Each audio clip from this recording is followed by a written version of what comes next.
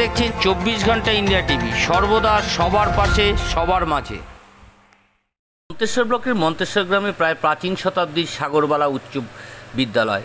নাচ, গান, আবৃত্তি, প্রবীণ এবং নবীনদের বরণের তাৎপর্যতা তুলে ধরার মধ্যে দিয়ে বিভিন্ন সাংস্কৃতিক অনুষ্ঠানের মাধ্যমে বিদ্যালয়ে নবগত একাদশ শ্রেণির ছাত্রছাত্রীকে বারো ক্লাসের ছাত্রছাত্রীর দ্বারা কপালে চন্দনের ফোঁটা, ফুলের তোড়া, একটি করে পেন ও মিষ্টির প্যাকেট হাতে দিয়ে নতুনদের স্বাগত জানালেন নবাগত একাদশ শ্রেণির নবীন বরণ অনুষ্ঠানে। হয়েছে আমেরিকা, কানাডা সহ বিভিন্ন দেশে কর্মকাণ্ডের মাধ্যমে প্রতিষ্ঠাতা পেয়েছেন। তাই তিনি বর্তমান ছাত্রছাত্রীদের বার্তা দিয়ে বললেন, ভবিষ্যতে এই বিদ্যালয়ে ধারাবাহিকতা বজায় রেখে ছাত্রছাত্রীরা প্রতিষ্ঠিত হয়ে সমাজের ও বিদ্যালয়ের মুখ উজ্জ্বল করার কথা জানান প্রধান শিক্ষক অরূপ চৌধুরী। চব্বিশ ঘণ্টা ইন্ডিয়া টিভির প্রতিনিধি বিশেষ প্রতিনিধি। সুতরাং তোমরা আমার ছাত্রছাত্রী, তোমরা আমার স্নেহের সম্পদ।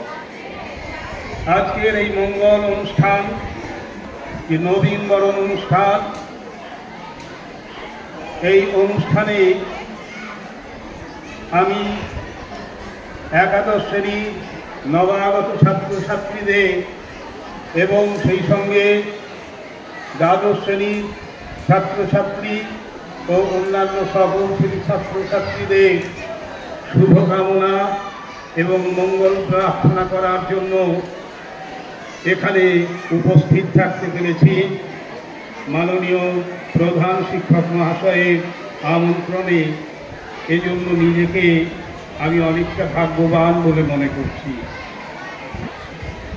মঙ্গল অনুষ্ঠানে প্রাক্তন ছাত্র প্রাক্তন শিক্ষক হিসেবে এটাই বলি, বিদ্যালয় তার পরম্পরা নিয়ে চলে, তার আবহমান ভাবনা নিয়ে চলে, বিদ্যালয়ের মৃত্তিকা, বিদ্যালয়ের পরিবেশ, যারা আমাদের এই অঞ্চল ছেড়ে বাইরে অঞ্চল থেকে এসছো, বাইরে ব্লক থেকে এসেছ, সেই সব ছাত্রছাত্রীদের কাছে একটা বিশেষ পরিচয়ের দিন হিসেবে এই দিনটাকে আমরা আখ্যায়িত করে থাকি। বিদ্যালয়ে পঠন পাঠনের মান অরবিন্দবাবু বললেন, প্রাক্তন ছাত্রছাত্রীদের, তাদের যে কীর্তি, তিনি এটাকে হাইলাইট করলেন।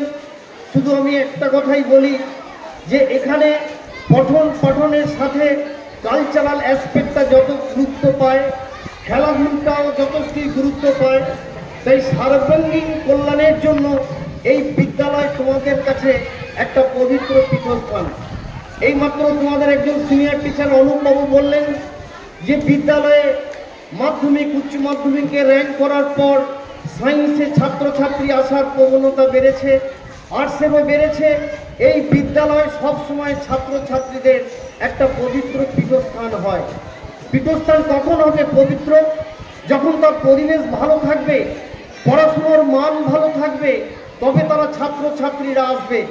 কিন্তু সাথে সাথে এ কথাটা ছাত্রছাত্রীদের বলব যে তোমরা যখন আসবে, নিজেদের মধ্যে একটা কর্ডিয়াল রিলেশন তৈরি করতে হবে, হার্দিক সম্পর্ক তৈরি করতে হবে। সেই হার্দিক সম্পর্কটা যদি তৈরি না করা যায়, বিদ্যালয়কে সুসংগঠিত করা যায় না, মাস্টারমশাইরা আসবেন, কিন্তু ছেলেরা ক্লাসে আসে না। আমি রিটায়ার করার পরও ক্লাস নিতে আসি। পাংচুয়ালিটি বজায় রাখি, কিন্তু ছাত্র ছাত্রীরা আসে না। তারা মাঝপথে টিউশন করতে চলে যায়। এটা কোন সিস্টেম আমি বুঝি না। তাই আমি বলব বিদ্যালয়ের শৃঙ্খলা রক্ষার ক্ষেত্রে শিক্ষক মহাশয়রা যেমন ভূমিকা নেন ছাত্র ছাত্রীদের একটা ভূমিকা আছে। শুধুমাত্র এলাম, শুধুমাত্র দু চারটে ক্লাস করলাম, কি বাচ্চা ছেলেগুলো এলো, কি খেয়ে দিয়ে চলে গেল, এটা কখনোই হতে পারে না। সকলের সহযোগিতায় বিদ্যালয় তার নির্দিষ্ট লক্ষ্যে পৌঁছাতে পারে। তাই আমি একজন প্রাক্তন শিক্ষক হিসেবে আমি তোমাদেরকে বলব, শ্রদ্ধাবান লভ থেকে এনম, আমরা জানি ছাত্রানাং অধ্যয়নম তপ, এটা তোমরা জানো। সুতরাং তোমাদের বাবা মায়ের মুখ যেমন উজ্জ্বল করবে, শিক্ষক শিক্ষিকাকে আনন্দ দেবে, তেমনি এই বিদ্যালয়ের মানকে তোমরা বাড়িয়ে চলবে। কারণ তোমাদের আগেই যারা এখানে পড়াশুনো করে গেছে উন্নয়নের ক্ষেত্রে তাদের ভূমিকা আছে। ছাত্রছাত্রীদের সাথে সাথে শিক্ষক, শিক্ষিকাদের অপরম অপরিমেয় স্নেহ তোমরা নিশ্চিত লক্ষ্য করো। তাই আমি আমার বক্তব্যকে দীর্ঘায়িত করব। প্রথমে একটা কথাই আমি বলব। সাগরবালা উচ্চ বিদ্যালয়ে আমরা যারা কাজ করার সুযোগ পেয়েছি, সাথে সাথে তোমরা যারা এখানে ভর্তি হয়ে পড়াশোনার সুযোগ পেয়েছ আমরা প্রত্যেকেই সৌভাগ্যবান। এরকম একটা ঐতিহ্যবাহী স্কুলের সাথে যুক্ত থাকতে পারা, এটা সত্যিই গর্বের। জন্মলগ্ন থেকেই এই স্কুলের একটা নিজস্ব ঐতিহ্য আছে। তার পরম্পরা আমরা বয়ে চলেছি। তোমরা যারা নবগত ছাত্রছাত্রী এখানে এলে তোমাদের ঘাড়েও সেই দায়িত্ব বর্তালো। এই স্কুলের সুনাম অক্ষুণ্ণ রাখা, এই স্কুলের ঐতিহ্য বহন করে নিয়ে যাওয়া। আমি জানি ঈশ্বরের আশীর্বাদ আমাদের সাথে আছে সাথে আছে আমাদের কর্মপ্রচেষ্টা। কিছু ভালো করার মানসিকতা, তাই আমরা হারবো না, আমরা এগিয়ে যেতে পারব। তোমরা প্রত্যেকে জীবনে বড় হও, সুন্দর মানুষ হয়ে ওঠো এবং আমাদের সকলের প্রচেষ্টায় আমাদের স্কুল আমাদের প্রিয় বিদ্যালয় আরও প্রিয় বিদ্যালয়ের সম্মান আরও উত্তরোত্তর বৃদ্ধি ঘটুক এই প্রার্থনা জানাই।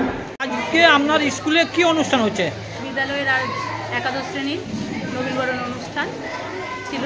ওরা বেশ কয়েকদিন ধরেই ক্লাস করছে প্রায় দেড় মাস হলো। একটু এবছর একটু দেরিতেই আজ নবীনবরণ অনুষ্ঠানটা হলো। এই নবীনবরণ অনুষ্ঠানে কে কে উপস্থিত ছিলেন? নবীনবরণ অনুষ্ঠানে আমাদের বিদ্যালয়ের সমস্ত শিক্ষক শিক্ষিকাগণ ছিলেন। তার সাথে আমাদের বিদ্যালয় পরিচালন কমিটির সভাপতি আর প্রাক্তন সহকারী প্রধান শিক্ষক মহাশয় অরবিন্দ কুমার ঘোষ মহাশয় ছিলেন। তাছাড়াও আমাদের প্রাক্তন শিক্ষক সুহাশিসবাবু কিন্তু বর্তমানে উনি গেস্ট টিচার হিসেবে স্কুলে শিক্ষকতা করছেন। স্টুডেন্টরা তাতে সমৃদ্ধ হচ্ছে পল সায়েন্সের টিচার উনি। উনিও ছিলেন প্রধান শিক্ষক মহাশয়ের উপস্থিতি ছিল। তাছাড়া কিছু যে যারা অনুষ্ঠানে অংশগ্রহণ করেছিল তাদের বাবা মা অর্থাৎ গার্জেনরা ছিল। ভালো লাগল। অনুষ্ঠানটা কীভাবে হলো? অনুষ্ঠানটা খুব কম সময়ের মধ্যেই প্রায় পাঁচ ছ দিনের প্রচেষ্টাতেই হয়েছে। তারা তাদের এবং এটা সম্ভব হয়েছে স্টুডেন্টদের আগ্রহ এবং আমাদেরও ইচ্ছা যে অনুষ্ঠান একটা করাবো। তাদের তারা অনেকেই ইনভলভ ছিল কেউ গান কেউ নাচ কেউ বক্তব্য হ্যাঁ এর মাধ্যমে করেছে। তাই এই যে নবীনবরণ উৎসব বা নবীনবরণ ইয়ে অনুষ্ঠানের মাধ্যমে ছাত্রছাত্রীদের কি জানাতে চাইছেন? নবীনবরণ অনুষ্ঠানের মাধ্যমে আমরা এই স্কুলের যে আমরা এই স্কুলে অনেকে তো মানে স্যারেরা বক্তব্য পরিবেশন করলেন। তাতে কি? যে স্কুলের যে একটা বিশাল ঐতিহ্য ছিল সেই মহিমায় যেন ফিরে আসে আবার যদি বা এই করোনার সময়কালে অনেকটা ভাটা পড়ে গেছে। হ্যাঁ তাতে আমরা নবীন হব সমস্ত দিক থেকে পড়াশোনার মাধ্যমে হ্যাঁ স্কুলের বিদ্যালয়ে কালচারটা গ্রহণ করব। সাংস্কৃতিক পরিমণ্ডল অনেক সমৃদ্ধ। তারা এই এই যে আজকের দিনে অনুষ্ঠানটা দেখে তারা অনেকে আবার পরবর্তী অনুষ্ঠানগুলোতে অংশগ্রহণ করতে রাজি থাকে। ছাত্রছাত্রীদের কি বার্তা দিচ্ছেন? ছাত্রছাত্রীদের বার্তা দিচ্ছি তোমরা সমস্ত দিক থেকে এগিয়ে চলো পড়াশোনাতে ভালো রেজাল্ট করো সাংস্কৃতিক দিক থেকেও তোমরা অংশগ্রহণ করো স্কুলকে সমৃদ্ধ করো। আপনার নাম পরিচয়? আমার নাম সুমনা মণ্ডল বিদ্যালয়ের সংস্কৃত বিভাগের শিক্ষিকা। আচ্ছা কতজন মানে ছাত্রছাত্রী মানে বরণ হলো বরণ করা হলো কতজন? এবছর ভর্তি হয়েছে প্রায় সাড়ে তিনশো জন। সাড়ে তিন হ্যাঁ সায়েন্স আর্টস এবং কমার্স মিলিয়ে। কারা বরণ করলেন? বরণ করেছে আমাদের বিদ্যালয়ের দ্বাদশ শ্রেণির ছাত্রছাত্রীরা। আজ এ পর্যন্ত সঙ্গে রাখুন চব্বিশ ঘণ্টা ইন্ডিয়া টিভি, দেখতে থাকুন সব জেলার সব খবর, সবার আগে চব্বিশ ঘণ্টা ইন্ডিয়া টিভির পর্দায়। নমস্কার।